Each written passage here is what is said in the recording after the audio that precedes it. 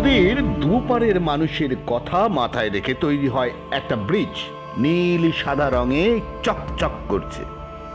মজার বিষয়, যাদের জন্য ব্রিজ তারাই ব্যবহার করতে পারে না। কেন? এবার দেখুন।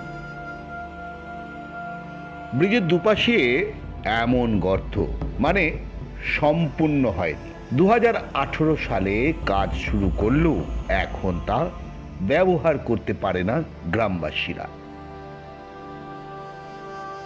উত্তরবঙ্গের ফালাকাটা, দেওগাঁও অঞ্চলের হরিনাথপুর গ্রামের তেরো বাই তিরাশি ও তেরো বাই চুরাশি নম্বর পাটের যোগাযোগের এই সেতু প্রায় পাঁচ বছর ধরে সম্পূর্ণ ব্যবহার হয়নি বা সম্পূর্ণ তৈরি হয়নি। চলুন শুনি, গ্রামবাসীরা কি বলছে? আমাদের রাস্তা আজকে গত পাঁচ বছর থেকে রাস্তা ব্রিজ ভেঙে আসে এরকমভাবে ভাঙিয়ে গেছিল ব্রিজ করা হয়েছে।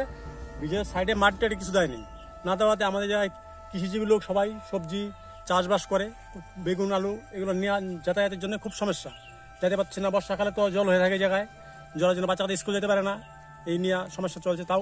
কতবার রুগী হলে তো এরকম সমস্যা রুগী আমাদের কুলে করে নিয়ে পার করতে লাগে জলের সময়। এরকম অসুবিধা হয়। কতবার অঞ্চলে গেলাম অঞ্চলে যা ভিডিও ভিডিও অফিসে গেলাম, অঞ্চলে গেলাম, বললাম, বললে হয়ে যাবে হয়ে যাবে, আজকে পাঁচ বছর হয়ে যায়।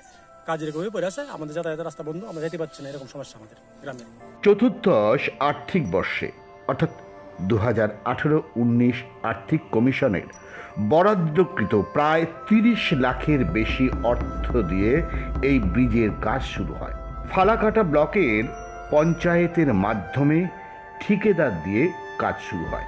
কিন্তু পাঁচ বছরে ব্রিজের গায়ে রং চললেও ব্যবহার করার উপায় নেই। সেতুর দুপাশে মাটি পড়েনি। তাই তো সংযোগ হয়নি।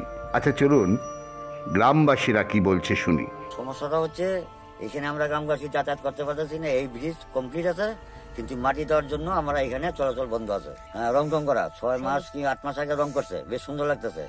কিন্তু রং করার পরে ব্রিজে যে যাতায়াতের মাটি টাটির কোনো ব্যবস্থা নেই। রাজ্যের মুখ্যমন্ত্রী আর তার সরকার চাইলেও স্থানীয় কিছু মানুষের জন্য চরম দুর্ভোগে এই গ্রামবাসী মানুষরা। এমনটা কি চলতে পারে? কাজটা করে সেই বরাদ্দ প্রাপ্ত ঠিকাদার যদি টাকাটা না পায়, তাই কাজটা ওই অবস্থায় প্রায় দেড় বছরের মতন হয়ে গেল, বন্ধ অবস্থায় আছে। আমরা জানি যে এই মুহূর্তে যদি টাকা চলে আসে, তাহলে কাজটা খুব দ্রুত গতিতেই শেষ হয়ে যাবে। এবং এলাকাবাসীর অভিযোগ আছে, এটা আমরা মানতেছি। আমরা আশা করছি, যদি সরকার সেই টাকাটা ছাড়ে, খুব দ্রুত গতিতে কাজটা সুসম্পন্ন করে রাস্তাটা চলাচলের জন্য উপযোগী আমরা করে দেবো। ফালাকাটা থেকে অরুণাংশ মৈত্রের রিপোর্ট, ইউটিভি বাংলা।